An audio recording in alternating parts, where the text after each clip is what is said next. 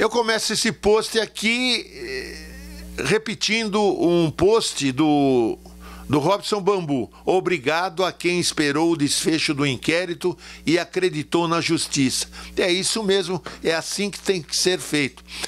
Jornalista não é juiz. Né? acusação de estupro é uma coisa muito séria e deve ser comprovada né? até que alguma punição seja determinada pela justiça.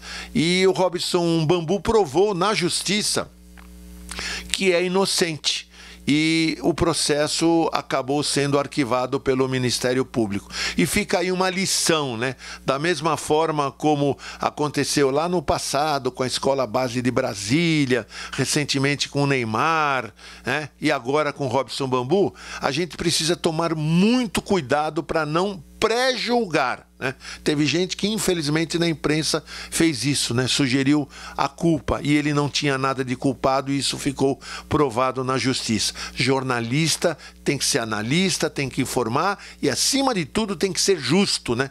e às vezes, infelizmente, algumas pessoas não são justas, né? especialmente no nosso meio. Então, a Transamérica reconhece é, o que foi determinado pela justiça e disse isso no ar. Então, parabéns a quem foi justo com a verdade.